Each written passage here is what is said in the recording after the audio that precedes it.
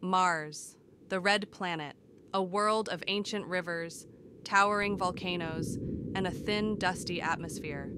For centuries, we've gazed at its fiery hue, dreaming of what secrets it might hold. Now, thanks to robotic explorers like the Perseverance rover, we're finally unraveling the mysteries of the Martian surface.